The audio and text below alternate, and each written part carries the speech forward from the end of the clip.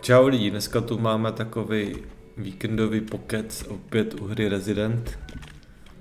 A dneska si povíme o tom, jo, teď jsem stával, o tom si povídat nebudeme, ale jestli tam budete slyšet, že jsem rozespalý, tak to je tím, že jsem teď opravdu, teď jsem stanu, teď jsem si udělal kávu, ještě ji mám horkou a ještě jsem se na ní nenapil, takže teď se teprve probírám. A dneska si povíme o tom, proč se stát a nestát youtuberem. No? Proč ze sebe dělat šaška na internetu. A to vám řeknu hnedka a hnedka ten důvod je, je to biznis. Jo? Natáčení prostě YouTube je biznis a pro ty, co to neví, tak je to opravdu velký biznis. Jo, podle statistik, statistik, co jsem se díval, tak i začínající youtuber potom, jak už začne vlastně, jo, jak splní vlastně požadavky YouTube, proto aby si mohl spoplatit kanál, tak i začínající youtuber může si klidně vydělat 20-30 tisíc. V čistém. Jo, když odečtu daně, tak proč si nepřivy, nepřivydělat? Počkat, co to je, to nechci tu krabičku. Jo, prostě málo kdo to přizná, málo kdo vám řekne pravdu. Hodně lidí říká, že natáčí jenom tak, no, jakož to přitom jsou totální nesmysly a keci. Třeba nejmenovaný jeden ten, co natáčel, tak ale já to radši ani nebudu řešit takové ty lháře, jo. A to jsou lidi, co třeba natáčejí o autech, jo. Jako YouTube je nej, nejrychlejší a nejlepší business je na autech. Pokud chcete vyloženě nabrat jako odběry za, za nic, nemusíte tomu ani rozumět těm autům, stačí tam žvatlat nějaké kraviny o těch aut, autech a budete mít tisíce odběratel, budete mít tisíce zhlednutí, budete vydělávat 50 tisíc měsíčně hnedka ze začátku. Jo? Ale proč prostě natáčet něco, čemu nerozumíte a nevím, no. Ty hajzle, to prdele. Nemá ani ruky, jo. Mě sere, sere. No. A já nemám ani to. Jo, mám se podíváme, co tu máme. Doufám, že tady budeme mít ten klíč od toho samopalu někde. O, a máme ho tu? Máme ho tu lidi. Takže máme tu klíček. Nechápu, proč mám tolik bomb, jo, na co? Stejně to nevyužiju. No. A teďkom... Ještě jo, ještě budu si pro kávu se ještě napít a potom tamhle si dám střih, protože úplně jsem mimo.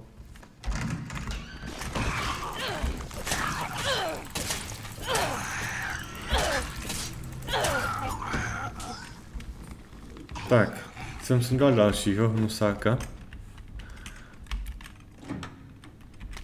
Každopádně, kdo uvažujete o natáčení, tak musíte hodně, hodně přemýšlet nad tím, jak na sebe ukázat, jo. Protože prorazit dneska na YouTube je strašně těžké. Není to jen tak. A ještě k tomu, když v mojem případě natáčíte urbexy, co dělá každý druhý, tak je to opravdu těžké. A ještě k tomu, když chcete zachovat nějaké inkognito, jo, jako nějakou masku nebo něco, já jsem se odhalil, dá se říct, dost, jo, jakože tam mám v některých videích jenom roušku a, a čepku, kšiltovku. Takže já jsem se odhalil poměrně až dost, takže už mě i někteří lidi poznali, jo. Ale furt mám takovou tu 50% jistotu, že prostě mě poznat nepůjdeš, jako takhle půjdu někde protože já nenosím nikdy věci, co nosím na urbex, tak nenosím oblečení. A prostě myslím si, že mám nějaké to inkognito, což je pro mě důležité, už jenom kvůli práci. Ale to podstatné je prostě prorazit. Jo. Mě dostalo na vrchol vlastně do podvědomí lidí, tak mě dostalo auto. Jak jsem ze sebe tam dělal šaška, s těma rohlíkama, jo. Prostě musíte lidi nějak zaujmout, jo. Musíte prostě být blázen, musíte něco dělat, co, lidi, co druzí nedělají, jo. To je zásada číslo jedna. A zásada číslo dvě, kde to zase jsem do prdele. Počkat, tady je co? Vezmu si tohle. Jo, tady je ten výtah. Takže já jsem teďko v patře zase nahoře, jak jsem byl. A tady už bych si mohl vzít ten samopál, ne? Bylo to tady, ne? To je ten hnus, jako ten má výdrž. To No, tak to nevím teda. Se to mám jako dostat? No nic. No tak to je k tomu natáčení, no. Proč jako natáčet, proč nenatáčet? Každopádně fakt musíte úplně přemýšlet nad věcma. Já jsem teď třeba na Facebooku si založil stránky jako o Urbexech, tak jsem to tam trochu zaspamoval. Prostě musíte jít přes mrtvoly, musíte nic se nedá dělat. Prostě pokud si chcete udělat nějaké jméno, ukázat se, jo, že vůbec existujete na tom YouTube, tam miliarda, miliarda lidí, miliarda urbexerů, miliarda lidí, co natáčí všechno možné, jako já. A do prdele, to ten je strašně rychlý. Tak pryč. Tady to bude, ne? Ta kancelář. Doufám. Jo, konečně. Tak jsme tu. No. Kde mám ten klíč? No tady. Už je tady, už je tady, už je tady, už je tady.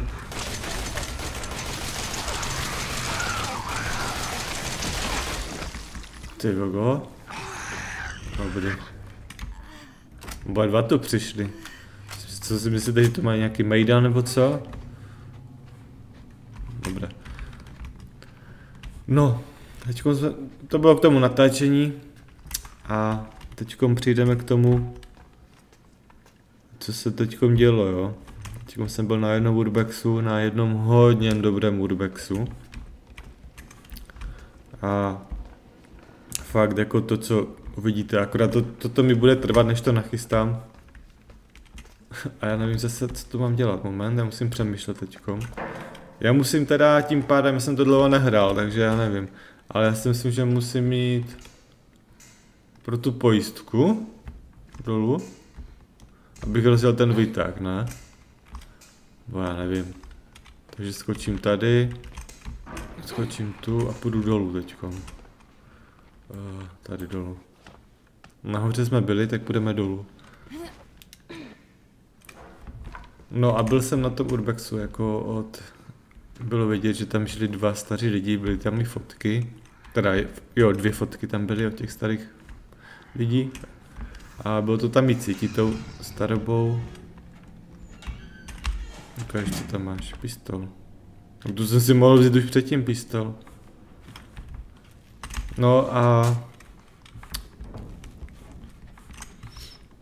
Prostě ty jo, normálně jsem lezl nahoru, tu půdu. A já jsem si tam položil kameru. A já jsem, já jsem zvedal tu desku, ať, ať se dostanu nahoru. A mi to spadlo, ta deska na, míst, na mě spadla, jako na ruku. Normálně mi to skříplo ruku. Takže máme tu pojistku. Přímo mi to spadlo jakoby přes, přes prsty, hlavně přes ten jeden prst. A to jsem si říkal, ty jo, tak to je, to je konečné. A nakonec dobrý. Ta deska nebyla zase tak těžká, ale ze začátku jsem si myslel, že to je zlomené. Jo, mám to i natekle, jako krev mi z toho tekla. Ale pak jsem, pak jsem zjistil, že to je v pohodě, jak jsem to rozhýbal. Ale vesta. No, takže jsem si řekl, ty jo, jako, jestli mi to za to stojí, že? Tolikrát fakt riskuju ty život, ten život, ty životy jsem chtěl říct. Asi jich mám víc, protože fakt tolikrát jsem myslel, že si to se mnou propadne, to schodiště, že tam někde zůstanu. Tak a jdeme tady, zase nahoru. Vydáme tu pojistku. A tady, jo. A tady potřebujeme co? Sakra. Ještě něco.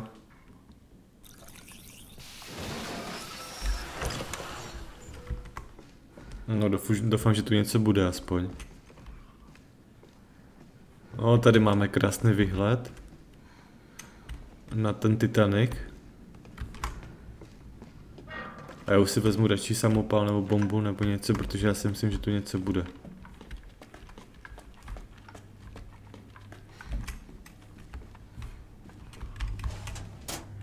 Něco anebo někdo. Každopádně potřebuji najít ten svazek. A už ho mám. Ale tady nikdo je na hajzlu asi, tam jsou záchody, ne? Já tu dám bombu. To ten grcal, ne? Grcoun. To bude on.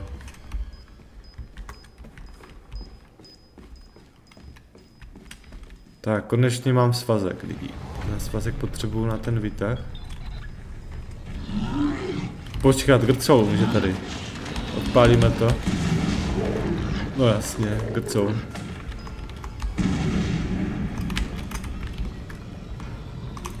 Má grcoun, nevím si to, si žrt.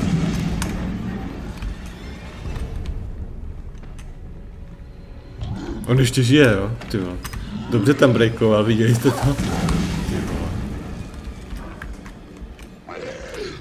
On praskne. Ne, jo. Dobrý, tak vezmeme si ten svazek. A tím pádem máme všechno k tomu vytahu lidí. Konečně, jo. No je lepší se dívat tady na hru, než na můj ksicht, který by byl stejně za maskou. Nebo za rouškou, nebo za šátkem. Jsem řekl, prostě nestojí mi to za to, abych se ještě zveřejnil a absolutně nemám ani důvod, jo.